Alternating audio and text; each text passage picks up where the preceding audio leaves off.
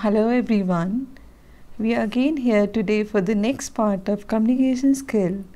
Now first part may you have seen the types of communication, sentences, phrases in detail. And today we'll see in our slides the next part of the skill. Now let's start with the slides. Now the next slide is about the parts of speech. Parts of speech may the first thing we are having is nouns. Now, what is a noun? Noun is a naming word. It can be a name for person, place, animal or thing.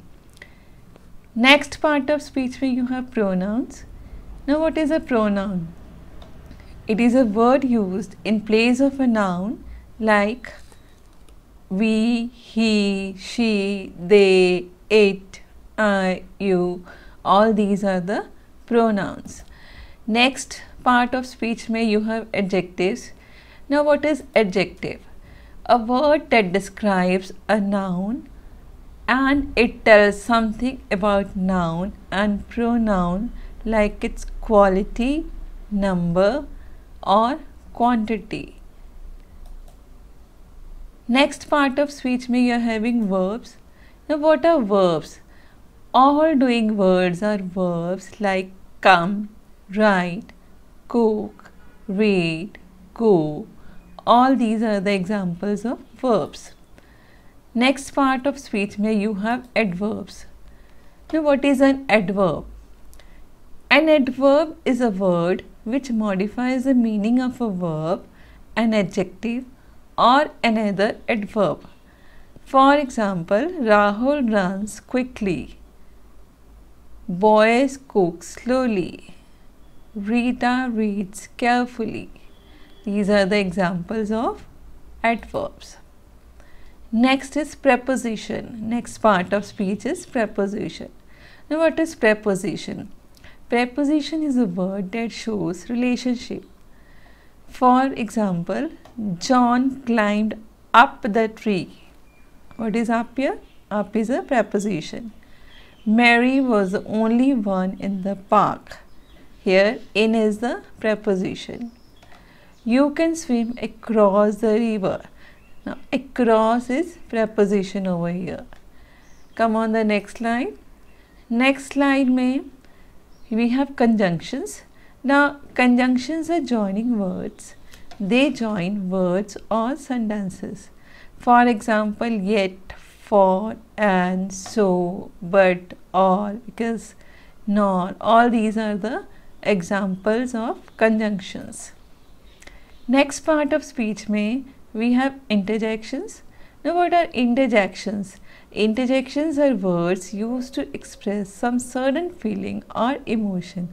Like sometimes you express your feelings, hooray, I have passed the ex exam.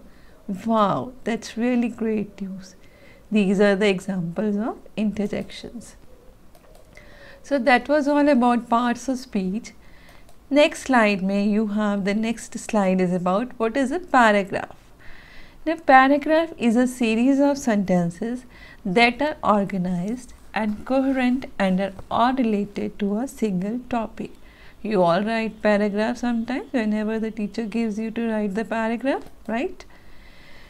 Now let's learn to identify the parts of paragraph with this colorful poster. Now this poster me you can see the shape of a bun. Now what is the first sentence? Topic sentence. Topic sentence. This sentence tells the reader the main idea or what the paragraph will be about. Come on the next part. Next part may that is your supporting sentence 1. Now this sentence gives the specific details relating to the main idea. Now come on the supporting sentence 2. Now this sentence gives another specific details relating to the main idea. Now come on the supporting sentence third. Now this sentence gives more specific details relating to the main idea. Now the last one is the bottom one. Now you can say this as concluding sentence. Now this refers to the topic sentence and sums up the main idea of the paragraph. Let's move to the next slide. Next slide is barriers in communication. Now, what are barriers? Communication barrier. Now, communication barrier can be defined as the aspects or conditions that interfere with effective exchange of ideas or thoughts. Let's see the next part. Types of barrier. Types of barrier may first of all we are having is physical barrier. Now physical barrier can stop you from being comfortable with the person whom you do not come face to face with often.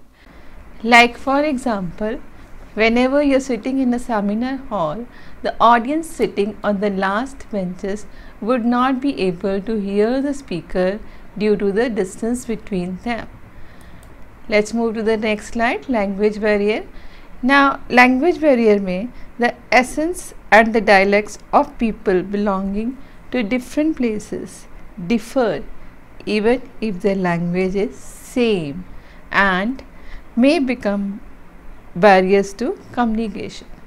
Now, if one is not familiar with your language, misinterpretation will occur. Now, the language barrier creates hurdles in effective communication. There are different languages of different regions within a country or in different countries. In the workplace also, different people have different languages. Now, this can affect the communication channel in the organization. Next is your gender barrier. Now this barrier arises because man and woman have different ways of thinking and communication. Now here the variation exists among masculine and feminine styles of communication. Women often emphasize politeness, empathy and rapport building whereas male communication is more direct. Let's go to the next slide. Next slide is about attitudinal barrier. Now, attitudinal behavior are behaviors or perceptions that prevent people from communicating properly. Now, these are the barriers that distance one from others. Now, next one is the perceptual barrier. Now, the speaker and the listener here sometimes sees the same situation from a different point of view and this can affect understanding. Now, different worldviews can create misunderstanding. People tend to interpret messages from their own point of view or ideologies. Let's go to the next one. Next one is cultural barrier. Now, ethnic, religious, and social differences can often create misunderstandings when trying to communicate. So, these differences can affect one's own perception and create confusion in getting a message. Let's move to the next slide emotional barrier. Now, if one is consumed with emotions, he will have difficulty in understanding what is communicated. Now, hostility, anger, fear, and other emotions make it hard to hear outside one's own self.